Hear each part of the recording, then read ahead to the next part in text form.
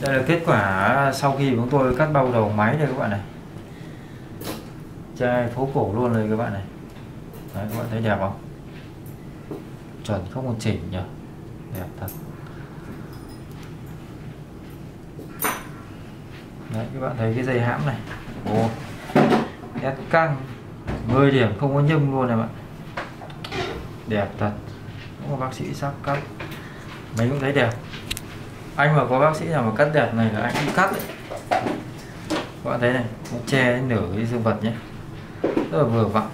Đấy, xin chào bạn đối sĩ sắc Việt Đức đây. Ngoài một về miền nam à, 25 tuổi bạn ấy uh, trai phố cổ đây nhưng mà bị uh, hẹp bán hẹp bao quy đầu.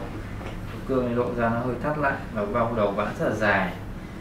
Thế thì con trai ấy thì nó uh, nó bị viêm ấy bạn ấy bị viêm và cũng đã chữa ở viện anh rồi viêm chữa thì con trai nhà kia cũng chả cần chữa nó cũng khỏi.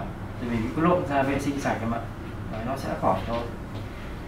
Đấy còn khi mà mà cái vi khuẩn nó vào trong âm đạo phụ nữ ấy, đấy, thì nó lại con trai cái lại không rửa được. Thành thử ra bạn gái của bạn ấy cũng bị viêm âm đạo. Thử là thế cho nên là là, là con gái nó hay bị viêm như thế mà vâng. Đấy, và con trai thực ra nếu mà bị viêm nhiễm tái phát thì nó cũng tạo ra cái gọi là bán hạt bao đầu thứ phát. Của em cũng có thể là như thế đấy. Đấy, cho nên là nếu mà bao đầu dài quá thì chúng ta nên cắt các bạn nhé. Hoặc là bạn gái mà hay bị viêm ấy.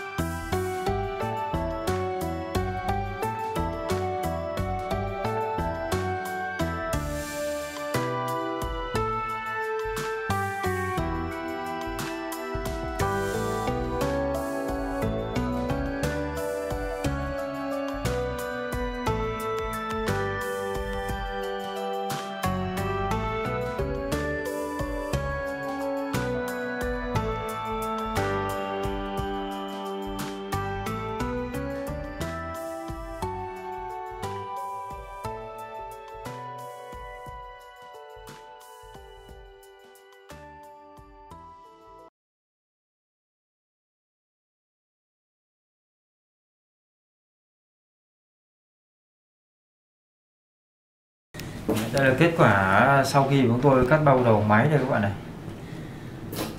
Chai phố cổ luôn rồi các bạn này. Đấy, các bạn thấy đẹp không? Chuẩn không còn chỉnh nhỉ? Đẹp thật. Đấy, các bạn thấy cái dây hãm này. Ồ, nét căng. 10 điểm không có nhâm luôn này bạn. Đẹp thật. Có bác sĩ sắc cắt. Mấy cũng thấy đẹp anh mà có bác sĩ nào mà cắt đẹp này là anh cũng cắt đấy. Các bạn thấy này nó che nửa cái dương vật nhé. Rất là vừa vặn.